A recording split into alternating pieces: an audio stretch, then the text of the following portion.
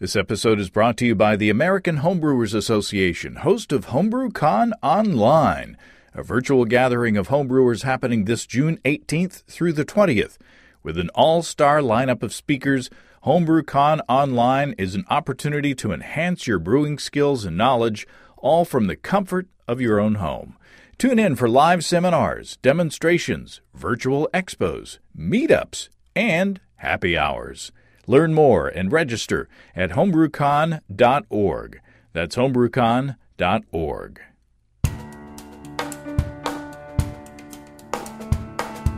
Welcome to Basic Brewing Radio for Thursday, June 11th, 2020.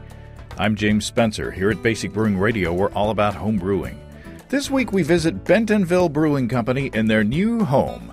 After spending time in a temporary space in Rogers, Arkansas, Bentonville Brewing is in a brand new building in their hometown with not only an expanded brewing capacity but an outside beer garden tailored for physical distancing. If you go to basicbrewing.com, you can find archives of our audio and video shows, and if you go to basicbrewingshop.com, you can find our DVDs, our brewers logbooks, and other basic brewing gear. You can follow me on Twitter and Instagram at Basic Brewing and find our show page on Facebook as well. We have a cool Basic Brewing app on iTunes and Amazon.com, and we're found all over the place where fine podcasts are served up. If you want to support us financially, check out patreon.com slash basic brewing. And thanks to everybody who's helping out in that way. If you go to patreon.com slash basic brewing, you can see a long list of stuff that you can access if you sign up as a supporter. Patreon supporters have already seen the episode that uh, Steve and I shot about my 15 minute Hallertau Blanc cream ale that's a tasty beer. Or at least it was a tasty beer. It's not. it is no more. it has gone to meet its maker. the uh, general. Literally, I made it. it oh, the general public will get to see that episode on the uh, Hallertau Blanc Cream Ale this uh, coming Friday. Next up in the video lineup is my small batch brew in a bag Captinus Many thanks to everybody who is uh, pitching in to support uh, Basic Brewing these days. Um, uh, just a note: uh, by the time you hear this, uh, the uh, the Basic Brewing openers on our store site may be no more as well. because um, I went to reorder, and the company that I got them from is not they, they they're gone, pushing up the daisies. I guess I don't know. So anyway, I've got to solve that situation. So just just so you know. I hope you're remaining safe and healthy. I am uh, occupying my time working on uh, future content for the shows, of course, uh, and with help from uh, listeners. Uh, uh, we've we got a couple of double whammy, or we got we got a sort of a we got a double whammy this year. I, I usually take June off, but you know that's not happening, and I'm fine with that. Uh, and then we usually get a couple months worth of audio shows by going to HomebrewCon and talking to people in person, uh, which helps out quite a bit, uh, filling the yawning chasm of content that I have to fill every week. Uh, I am looking forward to a HomebrewCon online uh, next week, though. Um, I, I, brewed up the uh, next hop sampler this week. On this one, I'm taking a different approach using two hops that we've tasted before. And no, one is not lemon drop. I'm I'm brewing each by itself, and then I'm brewing a third batch that's a blend of the two. So stay tuned for details on that. I'm very excited about that. I also brewed up a, a big old triple, or at least that's uh, what I'm calling it 12 pounds or 5.4 kilograms of Pilsner malt, 2 pounds or 900 grams of wheat malt, and a pound or 950 grams of light candy syrup, uh, Czech Saaz and Horizon for bittering. It's a big beer with a starting gravity of uh, 1068. Uh, that's big for me nowadays, anyway. And I fermented it with B64 Napoleon from our friends and sponsors at Imperial Organic Yeast. Now, Imperial describes Napoleon as a, a classic strain to produce French Saison where a balance of fruit esters and spicy phenols are necessary. So, it may be technically out of style for a triple, but I'm telling you, this beer is mighty delicious. it's got a nice base bitterness and a, a, bit of sweetness despite finishing it at 1004. That Napoleon just ripped through those sugars. 8.5% ABV, deceptively drinkable with, with uh, uh, fruit notes, uh, spice, a teeny bit of bubble gum, and a little bit of banana. Did I use a starter? No, I did not. My, as I like to say, my stir plate is dusty because I don't make starters anymore for moderate gravity five gallon batches because of Imperial organic yeast. And uh, even this one, which is a bit big, I didn't use a starter. I got a YouTube comment uh, on our no chill Belgian Golden Ale episode where I used B45 Gnome. Chris on YouTube said, I noticed you didn't use a starter but still got the ABV down very impressively. I've rarely had that kind of success with liquid yeast, even on smaller beers. You got any tips or suggestions on liquid yeast management? Well, I responded, buy Imperial Organic Yeast. Problem solved. it may sound snarky, but it's pretty simple. Imperial has the highest pitch rate of any liquid liquid yeast manufacturer at 200 billion cells. Every brewer I've talked to who has used Imperial loves it. Check them out at imperialyeast.com and ask your local homebrew shop for Imperial organic yeast. Let's take a quick look into the mailbag. You may remember Jacob, who had the issue with the Pilsner that uh, had a seemingly never ending fermentation uh, after an extended mash time. Well, Jacob sent an update on that beer. Jacob says uh, ended up slowing down and stopping at 1.002 final gravity. Bottled it and gave it two weeks to carb up. Got to try a bottle, finally, after two months on and off fermentation and waiting. Jacob says it was really tasty and hoppy Pilsner. The long mash gave me a very nice dry beer. However, the long fermentation time and lack of predictability with the method, I don't think I'll give it another try. To try and achieve the same effect in less time, Jacob says, I was going to use your Pilsner method of adding rice to boost the fermentility or ferment, fermentability. I swear I haven't been drinking with a more normal 60 or 90 minute mash time. I blame the coffee. Thanks for the update, Jacob. I'm, I'm glad the beer finally got done. Super dry, but uh, sounds tasty, and I'd love to hear what you think of adding rice to the mash.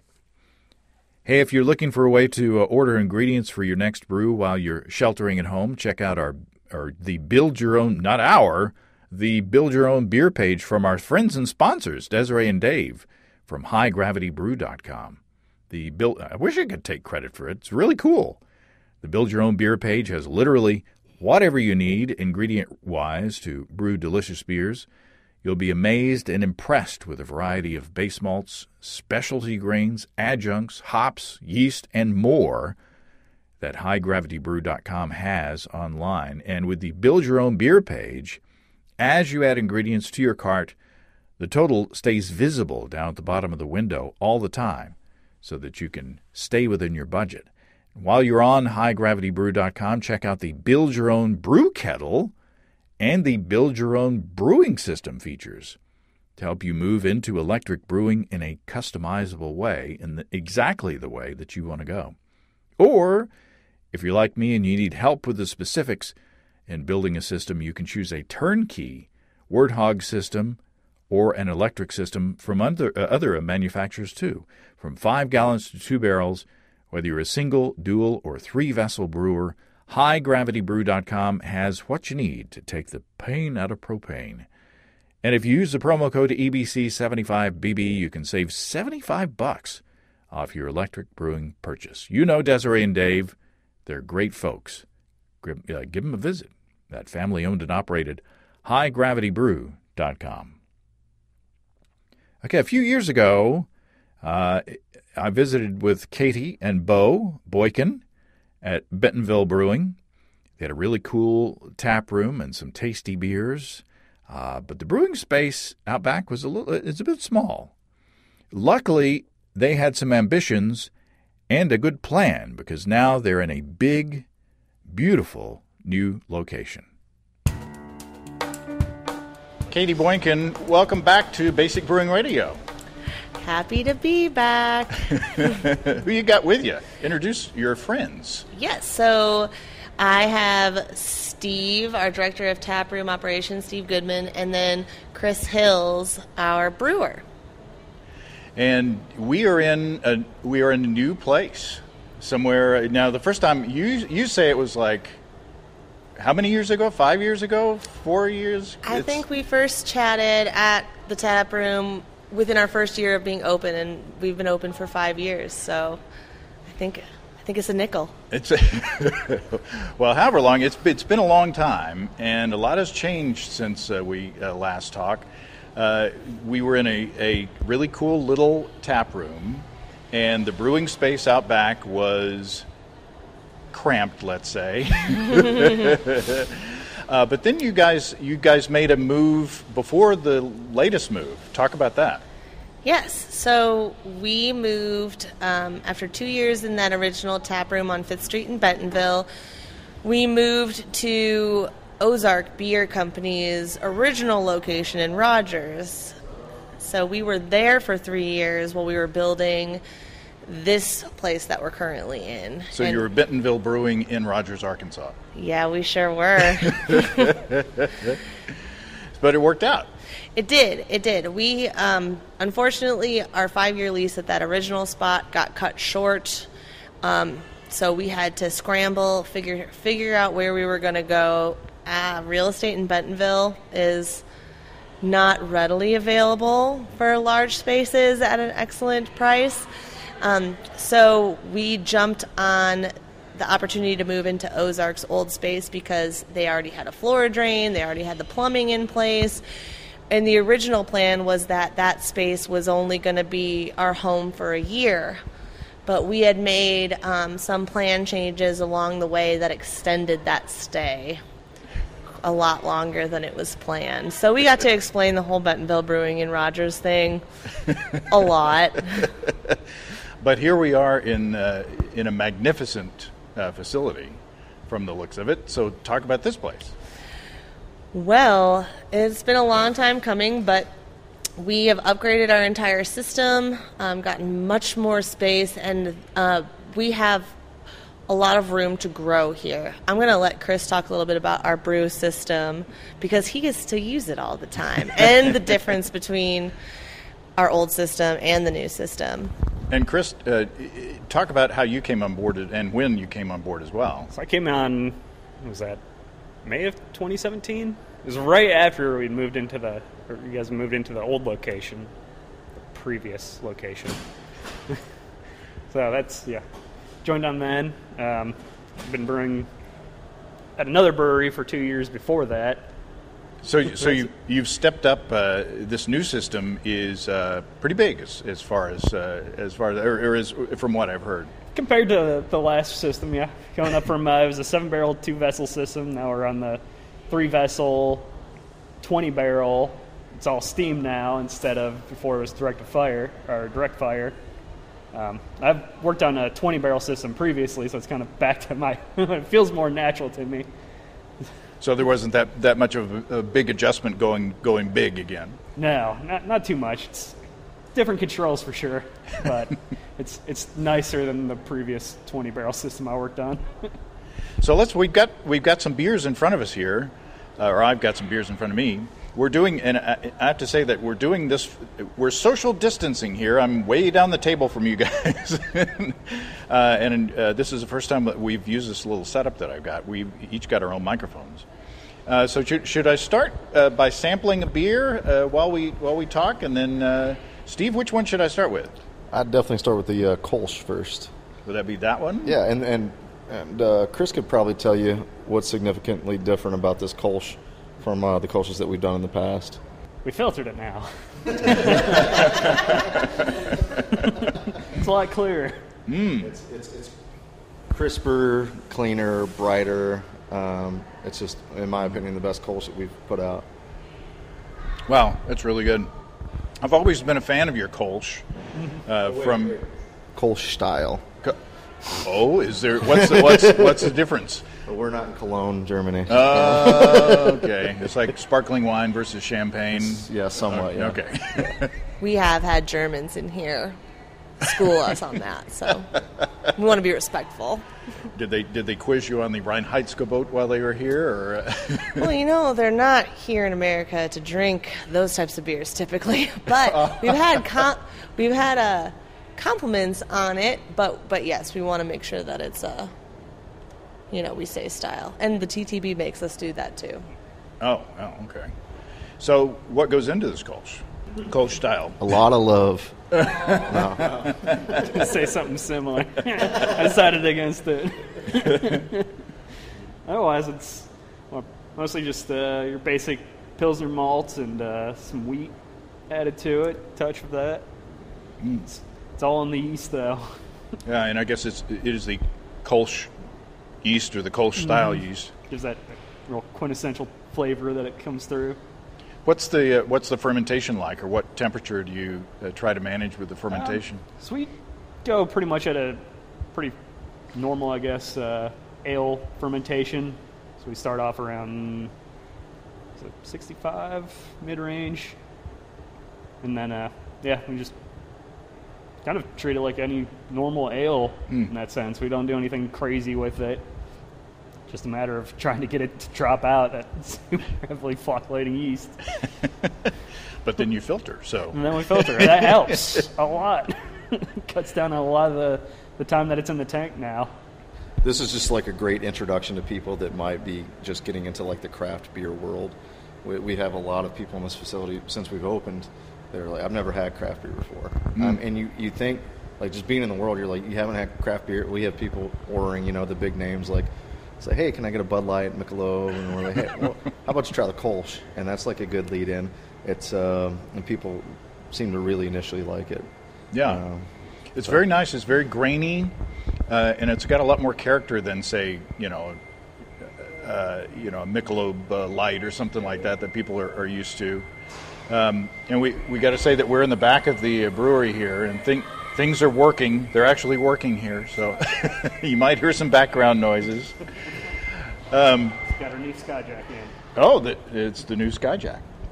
So, uh, so Katie, talk about the rest of the. I mean, we've got a big old brew house now, but but the facility surrounding it is pretty incredible. Yes. So that was one of the reasons for the extension or the how much longer it took than we originally planned to get here. It was worth the wait. Um, in addition to having a lot more space in our brewery and um, a lot of storage space, we planned for what we like to call like a food truck indoors. So we have a very small kitchen space that we sublet out to the um, the the Berg der Guster pub. but they're um, brought to you by the folks who do Tuscan Trotter. So it's like German style with a high South flair, but we've worked with them to create a menu that works really good with our beer, and they use our beer with some of the food items, and then we try to keep a nice price point so that people can have you know snacks and stuff while they're here. There's also a really large outdoor beer garden and covered patio. The covered patio is not the really large part. The outdoor beer garden part is. Um, inside the beer garden, we have a kids pump track with stride bikes, so kids can come and hang out with their parents while they're spending time with friends and family here. Um, uh, the border of the beer garden is a dog run, so it's completely fenced in, so you can bring your fur babies with you. And there's room for three food trucks along the east side of the beer garden. So there will be lots more food options than just Der Berg. um, and then just a bigger picture of what's to come. I mean, our neighbors are the climbing gym, so we have a lot of climbers in here all the time, and people who, you know, are active and biking and coming in and out, having beers before or after their workouts. And then the city of Bentonville, or well, there's a huge park system being developed behind us. So they're expanding Lake Bentonville back there, and they're working on a trail system through the wetlands. So in a few years when this whole project is complete this area will be our our brewery and the climbing gym will be kind of central in the patchwork of parks that they're trying to build in Bentonville. So long term, this is a pretty good spot for us. it sounds like it. But they're also building the 100 acre park at 8th and I Street, which is maybe a quarter mile from here as well. Wow. Where that's supposed to connect all the bike trails as well. So we'll be kind of nestled in between two kind of, um, um, what's the word I'm looking for? Uh, Hubs? destination Right. parks are what they're calling it. So we'll be nestled into two destination parks. And then Northwest Arkansas is all connected with 37 miles of, of bike trails and walking trails and all that kind of stuff. So you guys are hooked up. It sounds yeah, like. yeah. It's a it's a really nice place, and especially now the outside has been really awesome because with all the regulations we're under, even though we want to open, we want to open while everyone, our our staff and our customers feel super safe being mm-hmm. here. So most of the time the tap room itself looks pretty empty but the but the tables outside are are pretty full we've spaced everything out um, the way that the state has asked us to and we've been following all the regulations but because of that outside space people feel who people who might not normally feel comfortable coming out at this time feel a little bit better about it uh, because they're not enclosed in a small area with people Yeah, I want to I want to talk about that, but uh, we should probably pace ourselves with the beers here. So, Oh. so which which one should I go t- to next? Hills and Hollers, probably. This one? Uh, no, so it's the one to the left. The little, the, I'm sorry, to my left. Everything's from my perspective. Ask Kate. Um, but that's our newest. Beer. It was actually the first beer that was brewed here, um, and uh, maybe Chris can talk a little bit about that. Yeah. What do we have, Chris? So that's our uh, it's kind of a take, I guess, on an English lager. Um, it's kind of more of an evolved state of a previous beer we used to have, which was the City Slicker Amber, which was an ale. And we kind of tinkered around with it, and we played with a, a new yeast strain using the lager yeast on it, and like the way it came out. I think it helps kind of compared to the last the, the City Slicker. It's dried out a lot nicer. So I, I, personally, I feel it's a, a lot nicer. yeah. What what style would you call it? So, yeah, we've kind of just been going English lager. I've been telling people it's more of a traditional English lager. Um, But yeah, and, and uh, apparently we wanted to brew that one first because we'd never brewed it before, and we were using a new system. So if we messed up on it, then nobody would know. but um, I don't think they did. I think they did a tremendous job, and it tastes awesome, and it's been selling pretty well in the tap room. I'd say it's kind of a brownish copper color. Um, it's uh, When you think lager, you don't think that color. no, Yeah. no. Yeah. And it's it's got this real rich, robust maltiness to it. Yeah, it's it's super nice. Um, it is malty. You can smell. There's a little bit of roastiness on the nose. Uh, there's a nuttiness. Yeah. to it. Yeah, it's very nutty, and that's it's definitely my favorite beer that we make right A lot of people say toffee. Yeah, yeah, yeah. I would say it, it's kind of mild on the toffee. It's not like a um like a Maibock or something, or you know, dark bock beer or anything like that. But yeah, there's a Brewing Company, where the ales are lagers and the lagers are ales. well, at least you're in the right city now. so one what? thing what at a time It's actually what we're brewing today. so what? What goes into this? Um, so that one, we're actually using a lot of English malts on it, and I think uh, I think our, our the special kick that you get on it's uh, the CaraWheat. Huh? That's where a lot of that rich caramel toffee flavor really comes from. And the and the it's not about the hops, but what hops do you use? Uh, just all Willamette. huh? Okay. Yeah, a nice little uh, middle ground American style hop. And and I'm assuming not a not a whole lot on the back end, or No, no, it's all yeah. We're not dry hop in the lager. we'll do that next Not yet. that's in the special release. Imperial version. And and, and you might did you say the yeast, English yeast? Or, So that one, um, now we're just it's a lager yeast, so- Yeah, uh, right now we're using Saf Ales. Uh, I can't remember the code for it, but pretty much their uh, staple lager yeast on that the so sap, far. And that's SafLager. It's really good. And liking it- the way that lager yeast has been doing. And Right it's- there. is this one filtered as well? It's, Yep. it's bright and clean. Yep, and that one's it's actually much easier to filter than the Kolsch, surprisingly. So Not as yeasty. So, Katie, you alluded, you alluded to it. Um, y'all planned your grand opening at about the time the pandemic hit, and so it was like, "Hey, we're going to be open." No, we're not going to be. Well, that was actually like the cherry on top of a moving target grand opening. Anyways, our original when we broke ground on this spot in December of 2018, mm-hmm. we were like, "We'll see you all here drinking beers in October of 2019," and then it was going to be November. And then it was going to be Christmas. And then it was for sure going to be the middle of January. I was planning a big New Year's Eve party. Yeah. yeah. How, how'd that go? and then we, um, you know, you know, God bless our landlord at the Rogers place because he, he was like another 30 days. Yeah, yeah, another 30 days. um, but we finally got out of there at the end. By the end of March, we were going to have we were going to have an official like ribbon cutting on the 4th of April, but we were going to have like an April Fool's Day grand Yeah. opening on the 1st of April and just so- see we we were were, so being really funny. and uh, you know, St. joke was on Patrick's Day, St. Patrick's Day came and all that stuff was canceled because of Yeah. what what's been going on and it became pretty clear that that wasn't going to be the reality once again. So we were a little bit lucky in that we had a lot of work that needed to be done, so we didn't have to move quick and do anything like lay people off or or immediately stop production because we were already in the middle of a move and had some planned downtime. So on that hand, that was wasn't too bad. We got everything moved over. Um, we took we even did some creative things like take over the cleaning contract from the contractor so that we could pay our own people to, uh-huh. to do to do that work.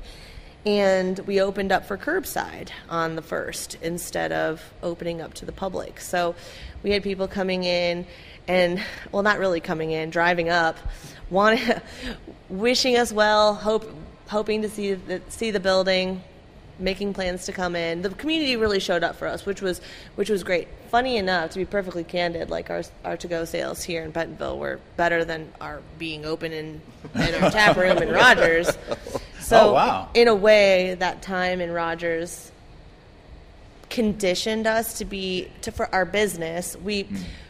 we weren't a business who relied on our tap room sales to hold up the rest of it. So we had a we had built those distribution lines and those supply channels and um, and all that. So and and some of that picked up a little bit, but of Huh. course the restaurant side of things and the bars definitely didn't doesn't make up for it. But we we are still very lucky. So Yeah. we're just glad that having the restaurant in here enabled us to to have people come in and we could serve the restaurant customers beer and and kind of operate that way.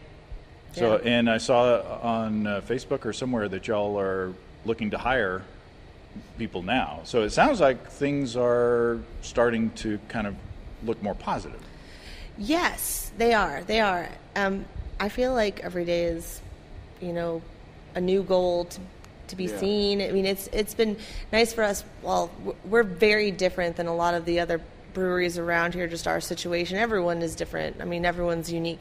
But for us, we operated at such um, a low level. We didn't have a lot of staff. We've been such a small company for so long. Um, we really don't hire people until we absolutely need to. Like we were, like she said earlier, we kind of grew out with the distribution, and I'd have people come into Rogers, and they'd be like, "Yeah, I've been drinking your beer for years, but I didn't even know you guys were like had a brewery around here." like they'd never been to our tap. They they've gone to like accounts that we have, but have been drinking and loving our beers for so long that. Um, and, and then they're like, I never even thought about coming to the tap room. We thought you guys were just like maybe distribution only. Uh-huh. I didn't even realize there was a tap room here. So, with uh, with us being open in, in such a you know prominent location, a visible location, I think people are like, oh yeah, that's that's the beer I've been drinking. That's awesome. Speaking of beer, how's that for a transition? Which where should I go next? Porter and yeah, yeah. Although you would, it, doesn't seem like you should go that way. our porter's like very. It's like a very bare bones porter, like very clean. I'm sure I made you drink that four to five years ago because that was my most favorite beer. Until And, and I say was because after I had my second baby, like my taste buds changed, and I became one of those IPA drinkers, which I never was before. I mean, I drank it, but that I would drink that porter like on a boat in hundred degree weather, like all the time. Doesn't matter. It was my favorite. It looks like it's going to be like like thick and Yeah. thick and uh, syrupy and Yeah. but it's not. The mouthfeel is, is nice and and um, That's like my, my taproom attendants are all, all the time. It's like, which way should I tell them to drink it? I'm like, I'd, I'd, I'd, I'd put the, the porter before anything like crazy hoppy. So It's got it's got it's got a, a lot of nice roast on the nose, but it's but the flavor, uh, you know, it's not overwhelming with the roast. It's not like um, you know just grab reaching into the uh, grain bin and you know grabbing a bunch of uh, chocolate malt or something like that. But it is it is nice and and and uh, roasty tasting, uh, but it's also kind of um, fruity as well, which which go it's which lightens up the uh, the character of, Yeah. of the beer. There's a lot. There's kind of a lot going on with it, but you don't. I guess I don't know. It kind of just pops as you drinking it. You, it's not quite what you'd expect. Like, No, it's something good. so dark for a lot of people. if, Yeah. if it were a different color, Yeah. then peop uh, it, we'd sell that in the summertime, like, and people wouldn't even think twice about it. Like, I mean, we still do, but not at the rate we sell all other beers. But One day I was drinking like, you know, grabbed a beer out of the fridge and I just had it in a koozie and thought I was drinking a porter for a second. I thought it was, is the amber I was drinking. I was going to say it, it. It tastes. If you were to close your eyes and taste it, uh, you would maybe think it tastes like an amber, which is it's kind of a it's kind of a mind trick, but it's good. So are we, are we talking like English base malts or So we've there's been a few tweaks over the years with not so much the type of malt, but more the provider, and we hit on one that we really liked. Trying to think if it was Simpsons or if it's Weyermann. We might have gone a German route there to add a little twist to it. I can bring it up real fast. there's almost like a little uh, like a dark cherry. Yeah, there's a lot of. Uh, it's just a really nice, like, kind of fruitiness underlaying a lot of layers of it that kind of cuts through that, that roast that you would typically expect. Yeah, So you're not getting a lot of like the, the bitterness that you get from darker malts. You use kind of more of a, a I guess, lower roasted malts instead of like, or kind of more toasted malts, I guess, instead of highly roasted. yeah.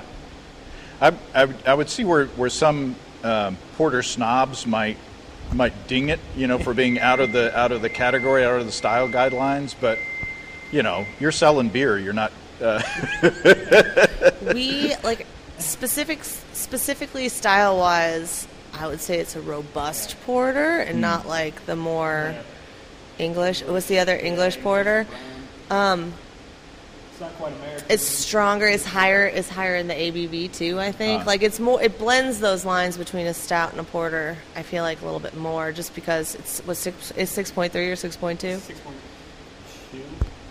Yeah. and yeah, it's, it's just it- the color is a lot wow. darker. Um, it's got, I you know, robust seems like a great adjective for it. It's, yeah, it's very nice. Just It- say we're not always huge fans of the guidelines. yeah. I want to be because I like awards and accolades, but I just like good beer. Yeah. but I also like good beer. It's a little tweak here, a little tweak there. no, it's good. It's very good. You know, it's Uh, also yeah, it's gonna be more of that chocolate wheat. That's what it is. I could see that.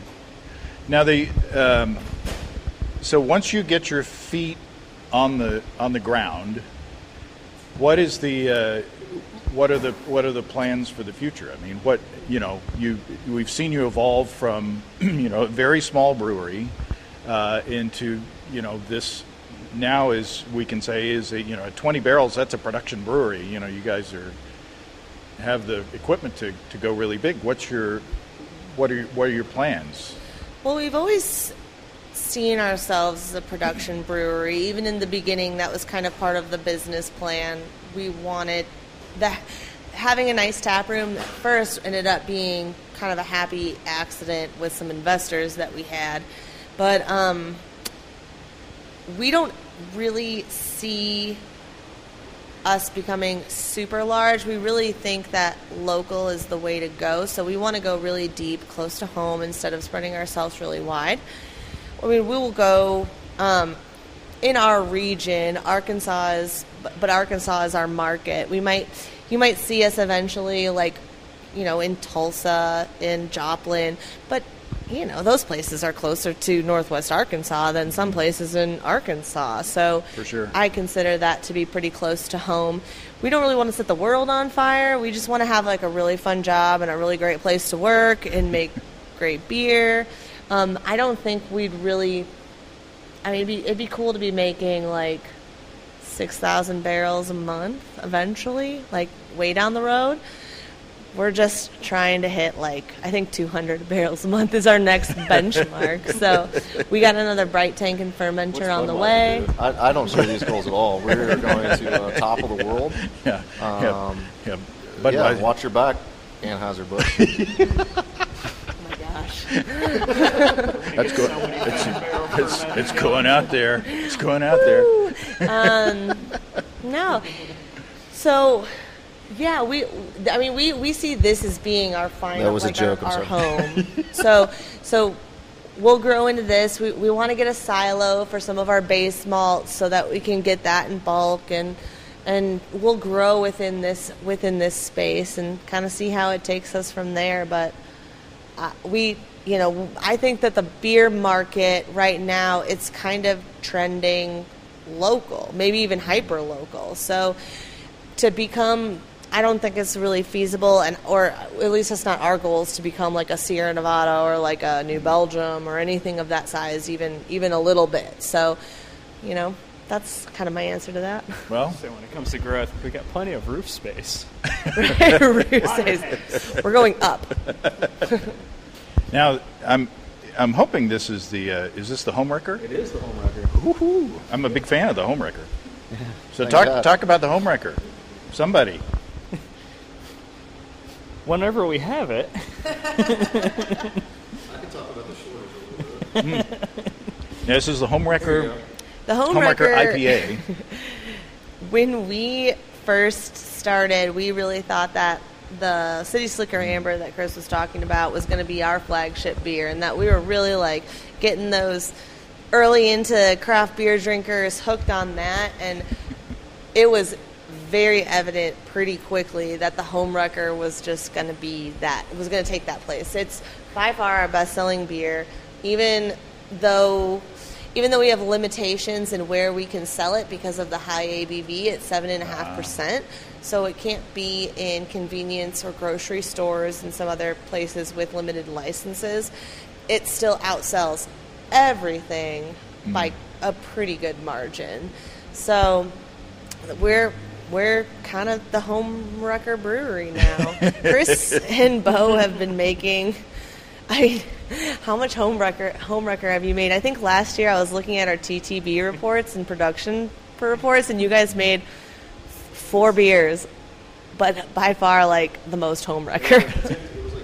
yeah. Home wrecker, and then the other 50% like the other three beers.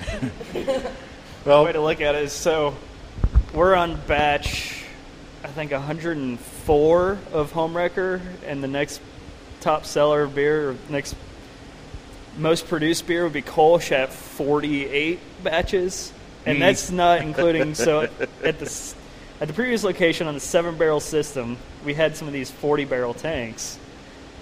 We could only feasibly fill them to 35 barrels, so we were what five brews that we'd have to do to fill up a tank. So over the course of three days to, to get that tank full, and we'd fill two of the 40s with home wrecker. Almost every month, there'd have to be two 40s of home wrecker full, and it'll just like one one of Kolsch that would last us maybe a month and a half, two months. so the 104 is a little more uh, misleading because yeah, for about 40 of those brews, it was five batches going into one. oh wow, There's, yeah, that's a that's a lot of. That's a lot It gets to the point when we are low on uh, home wrecker, we're like, all right, and we tell all the employees nobody drink home wrecker. and our, our distribution guy, Matt, he'll, he'll be like, I will- I'll post a picture on social media. He's like, "What the hell are you doing drinking home wrecker at this other Brady's. at, at Beef O'Brady's? I told you not to be drinking that because we're trying to save it for the customers." Well, it's it's a really good beer, and Yeah. you know I you know so hopefully those problems are behind us now. there there for a while people were tweeting you know oh I'm so sick of IPAs you know everywhere I go there's tons of IPAs and no other styles so sick of IPAs but you know the evidence is that it's good and people like it. So I do want to add that beer is not brewed with love. I just want to thank all of our customers for making us work that much harder to produce that beer so so, so talk about that I mean you know you know the homebrewers are going to want to brew something similar Yeah. so talk about the keys to making a good IPA like so this So, what we've kind of hit on is, I mean, going with the balance of both, I guess the the alcohol and the dryness and the touch of sweetness that it'll provide, and the, the IBUs and the bitter, or I guess uh, trying to avoid a lot of the bitterness of the hops, but the IBUs that they'll will be provided to balance out pretty much around the same, and it seems to be like a that almost one tenth scale, or seven point five percent to about 75, 80 IBU range. 'Cause, I don't know. It just seems to work out with a lot of beers. That's worked out with our with the home wrecker. I'm thinking of like High Lie. It's very similar in a lot of those styles that I think like really. Two hearted. oh two hearted yeah And that's you know, it's it's balanced by a lot of sweetness from the malt too. That it really underlies it, so it gives it that nice backbone to carry a lot of the heft. So you're not going to hit by the alcohol or the hops at once, and it's just all three kind of harmonizing together. Yeah. bring a lot of balance to it. If you've never had our, our home wrecker before, I, I like to tell people it's like a, it's like a Colorado two hearted.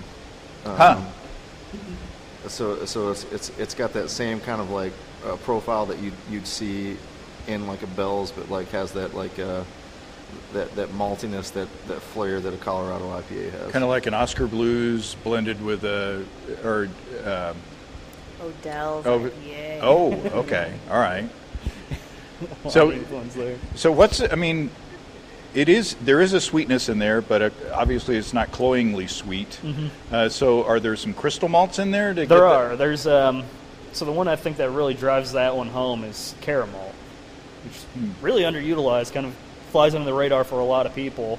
We kind of avoid, you know, a lot of you know. I think. I don't know why I'm. the recipes are just so like rote memory now. It's like, all right, I know by this by just sight. I don't have to think about it anymore. It's like my grandma's cookies Yeah, instead of like Crystal 60 or something like that, we went for caramel or, you know, kind of something that's lighter in color, but it brings so much like flavor, richness to that malt. And it's, it's always one of my favorite to like as we're grinding it, take some of the kernels, crack it open because it's just like, you know, it's it looks like pure just crystal inside there. This nice sheen inside. It's just candy to pop in your mouth. and talk about the hops. Uh, one that carries that one through is going to be Citra for sure in the back end.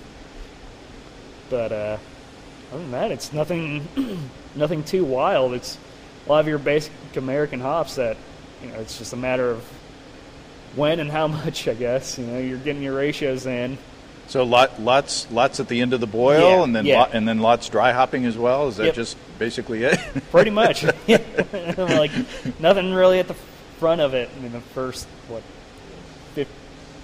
45 minutes, 40 minutes or so. oh wow just letting it go, just real hard boil. Really kind of get a lot of uh, caramelization, I guess, going on. Which is one change with the, the steam system now. Direct fire doesn't get as much of that that intense heat underneath it.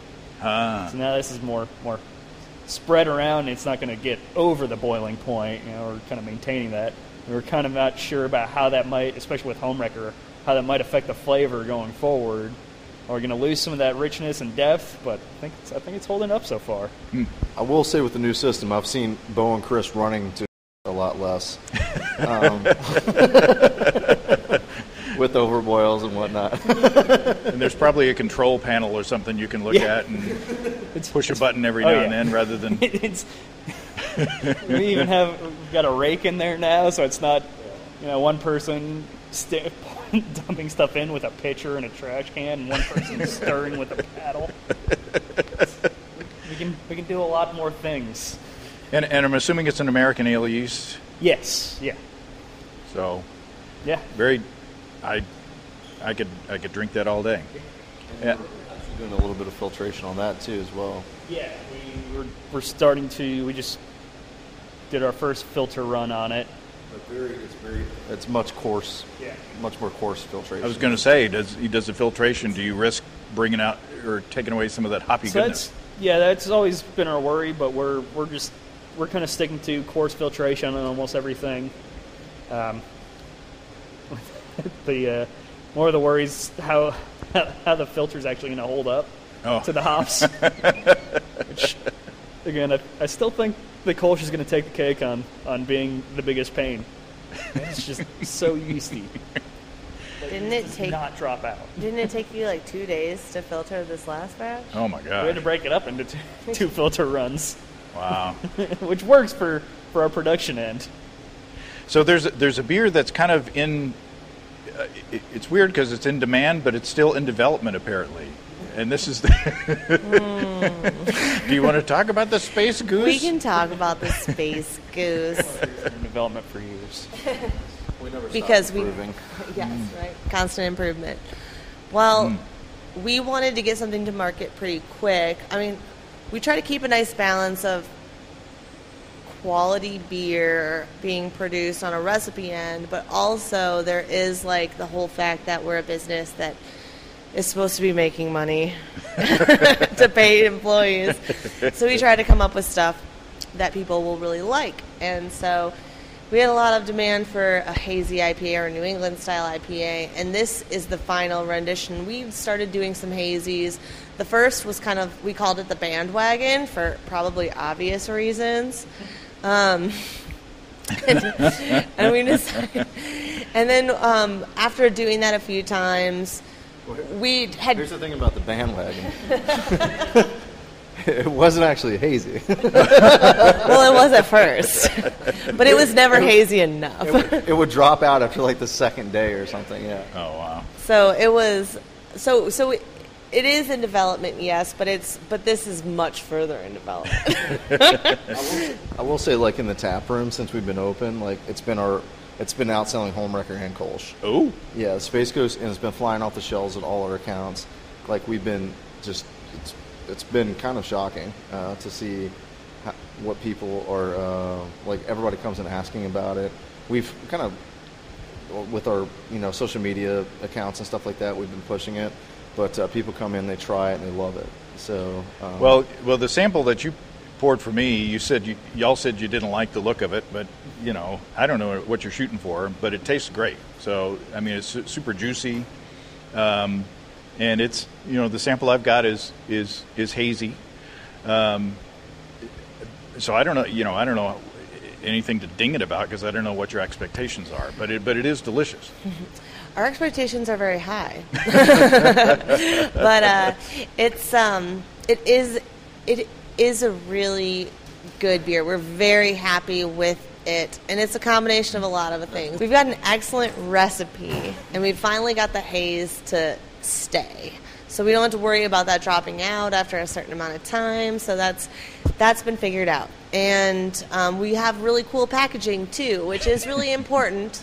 So we actually, um, it's got like this cool like galaxy thing going on, and then there is a like a derpy looking goose on there that one of our tap room employees actually doodled while she was working, and so we used her art and put the goose on the carrier and all the labels, and it's pretty cool. But um, it's one of the reasons it's so popular is it's because it's super approachable. So it's a hazy IPA, but because of the juiciness and that the hops aren't so bitter and you're getting a lot of just the flavor and aroma from them and, and not the bitterness, a lot of people, even some people who come in insisting that they don't want a beer, end up liking it. So that's one of the things that I, I think that's pretty successful. So it's kind of like a summer IPA, like if, for people who don't like IPAs in the summer. I mean, it's it's it's super juicy, super drinkable, uh, crushable. It's um, it's a fun beer, and like everything about it's fun. So like we wanted to rename it because the original name was Bandwagon, and we saw about you know um, probably predictably we saw about 15 beers named Bandwagon uh, uh, New England IPA because uh, That's exactly what they're doing. yes. um, so we actually had we kind of had like a little naming contest within the uh, employees at the company, and uh, I think uh, Chris was just on a random word generator, and, and Space Goose popped up.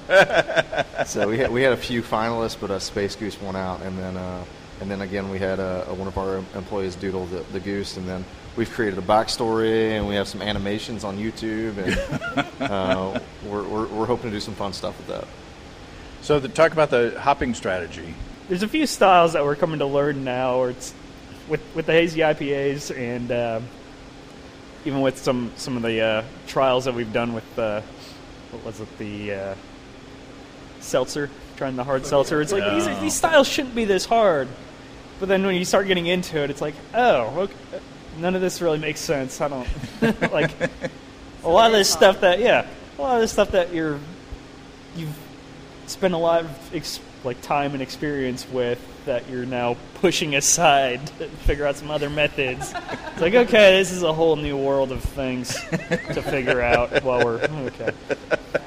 You spend a lot of your career trying to make like clear beers, like really bright, like clear beers. And now we're like, Now you have the two extremes of it. Like one that's totally clear, still technically a, I guess, beer with the hard seltzer, and then one that's just almost mud, is the, the hazy IPAs, and dialing that in.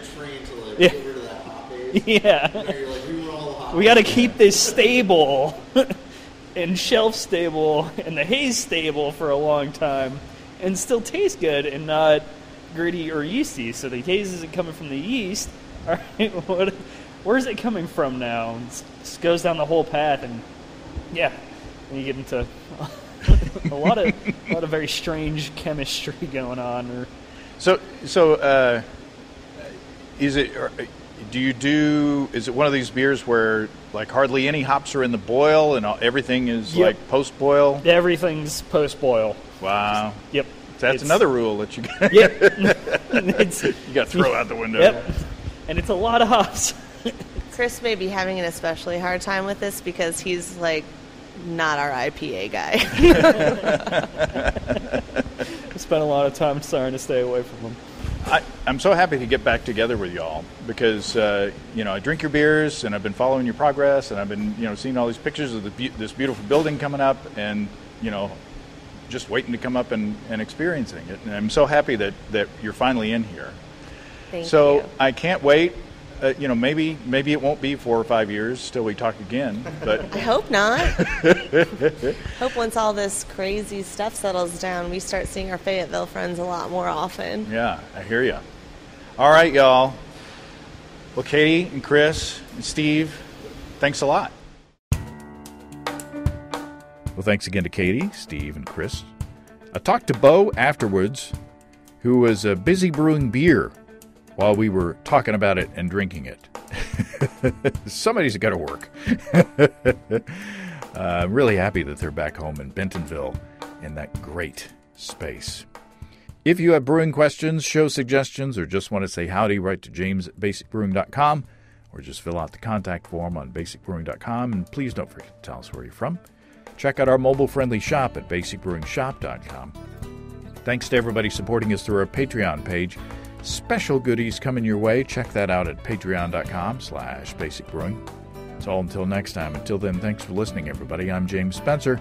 Production help for Basic Brewing Radio and our website is provided by Kelly Dodson. Basic Brewing Radio is a production of Active Voicing. We'll talk to you next time, everybody. In the meantime, stay well and stay tuned. So long.